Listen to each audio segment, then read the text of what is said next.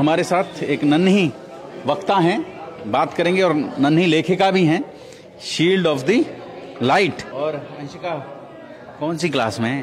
Grade five fifth पांचवी कक्षा में। कौन से स्कूल में पढ़ती हैं आप? डीएवी पब्लिक स्कूल कौन सा डीएवी है ये? East of Loni road east of Loni road east of Loni road Loni road अच्छा। तो क्या किताब लिखी है आज आपने? इसमें सिक्स स्टोरीज है एक इंस्पायरिंग और वैल्यूबल जो बच्चों को होनी चाहिए। होनी चाहिए। बोलती भी हैं आप? क्या बोलती हैं? इंस्पायरिंग स्टोरीज एक तो सबको बोलती हूँ और मुझे अच्छा भी लगता है कि दूसरों को इंस्पायर करना। तो कहाँ करती हैं? सोशल मीडिया पे करती हैं कहीं? कोई इंस्टाग्राम पेज है आपका?